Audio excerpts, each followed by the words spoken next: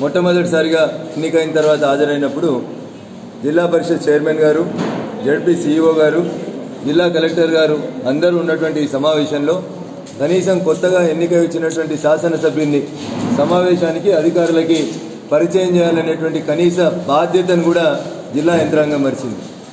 సిద్దిపేట జిల్లాకి వారం రోజుల క్రితం జిల్లా కలెక్టర్ జిల్లా రాష్ట్ర ముఖ్యమంత్రి గారు వచ్చినప్పుడు కలెక్టర్ గారు కనీసం ప్రోటోకాల్ పాటించలేదు.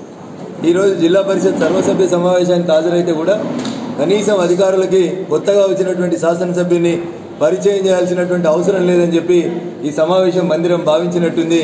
It is very unfortunate and the part of the chairman who presided over the meeting chairman గారు మౌనవృత్తం పాటిస్తే ఇదేదో టీఆర్ఎస్ పార్టీ సొంత వ్యవహారం లాగా ఒకరిద్దరి సమావేశాన్ని హైజాక్ చేస్తూ కొనసాగించడం అనేది బాధాకరం. ఎన్నికైనటువంటి మొదటి సమావేశంలోనే నిరసన తెలియజేయడం బాగుండదు కాబట్టి మౌనంగా వినిపోతా ఉన్నాం. కానీ జిల్లా పరిషత్ సర్వసభ్య సమావేశం నడవాల్సినటువంటి తీరు ఇది కాదని ఒక శాసనసభ్యునిగా మాత్రం నేను భావిస్తూ ఉన్నాను. అనేక అంశాలు నాలుగైదు అంశాలు మాట్లాడేసి వాళ్ళకి నచ్చిన అంశాలు మాట్లాడేసి మిగతా అంశాల విషయం లోపల ఎజెండా ఇచ్చినప్పుడు మాత్రం ఇరవై ఏడు అంశాలు ముప్పై అంశాలు ఎజెండాలు పెట్టారు చర్చకు మాత్రం నాలుగు అంశాలు చర్చకు పెట్టి సమావేశం అయిపోతుంది ఆకలి అవుతుంది అని చెప్పి లేచిపోవడం అనేది ఇది జిల్లా సమస్యల పరిష్కారం పట్ల గౌరవ కలెక్టర్ గారికి జడ్పీ సీఈఓ గారికి జిల్లా పరిషత్ చైర్మన్ గారికి ఉన్నటువంటి ఇంట్రెస్ట్ అనేది చాలా స్పష్టంగా కనబడతా ఉంది.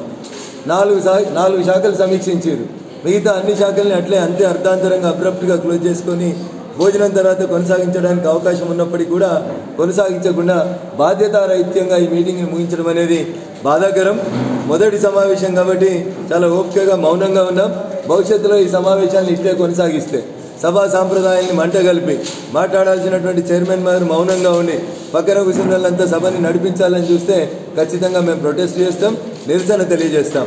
ఈ సభని ఆర్డర్లో పెట్టాల్సిందిగా జిల్లా పరిషత్ చైర్మన్ గారిని కలెక్టర్ గారికి ఈ సందర్భంగా విజ్ఞప్తి చేస్తూ ఇంకొకసారి ఇట్లాంటి పొరపాటు జరగకుండా చూడాల్సినటువంటి బాధ్యతని జిల్లా పరిషత్ సీఈఓ గారు తీసుకోవాలని నేను డిమాండ్ చేస్తా ఉన్నాను.